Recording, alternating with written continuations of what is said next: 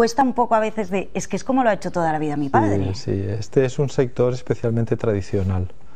Y cuando digo tradicional lo digo incluso a nivel de planteamientos, aunque yo creo que hoy en día afortunadamente cada vez más las industrias son conscientes de la necesidad de integrar técnicos y de recurrir a donde se produce el conocimiento porque el mercado está cambiando, los gustos de los consumidores cambian y en cierta medida digamos que desde la aproximación tradicional también hay un problema de desorientación o de un poco no saber cómo moverse cuando sales digamos de lo que has hecho toda la vida. ¿no? Claro.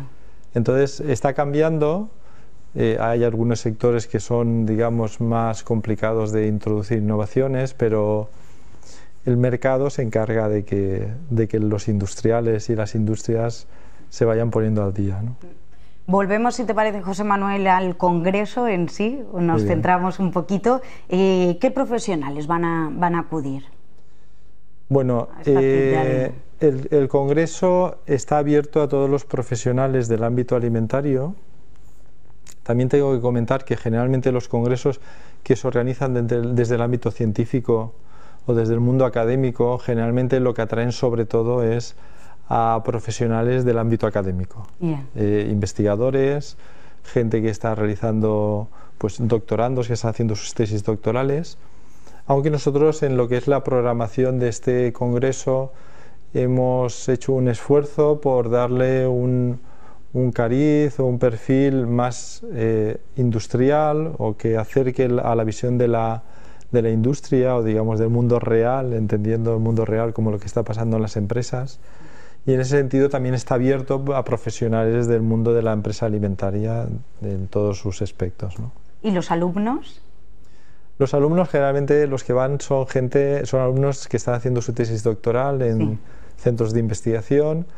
Eh, muchos de ellos bueno, van motivados por un lado por las presentaciones que van a tener y luego por la posibilidad de exponer sus investigaciones, aunque obviamente no solo están alumnos, sino también hay, digamos, investigadores senior en estos ámbitos. Mm, la verdad es que van a ser de 8, 9 y 10 de junio. Tres días prácticamente intensos, ¿no? Sí, efectivamente. Que tenéis una programación bastante, bastante extensa y dentro de esa programación, como bien comentábamos antes, José Manuel, tiene cabida también para todos aquellos que vengan y que no conozcan Valencia, que la puedan conocer también, ¿no? Ahora que esperamos que el buen tiempo nos acompañe ya en junio. Esperemos, porque nunca se sabe. Hmm.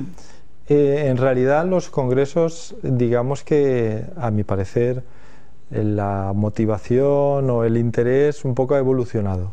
Eh, eh, hace años los congresos eran los lugares donde la gente podía acudir y encontrar, digamos, que el conocimiento que se desarrollaba en ese momento y ¿no? estar, digamos, estar al día de lo, de lo último. Hmm. Hoy en día, en realidad, esa no, digamos que esa motivación se ha perdido en gran medida debido a los medios de comunicación que tenemos, ¿no?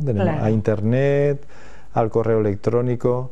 Hmm. Hoy en día, en realidad, es, posibilidad, es posible estar conectado en tiempo real y saber lo que está sucediendo en tiempo real mucho más fácil desde, desde el despacho o incluso desde casa que yendo a un congreso. Por lo tanto, en cierta medida, esa parte, digamos, que se ha perdido, pero a mi parecer, y yo creo que es una experiencia que tenemos todos los que acudimos a congresos, eh, los congresos sirven para, para, potenciar las relaciones humanas.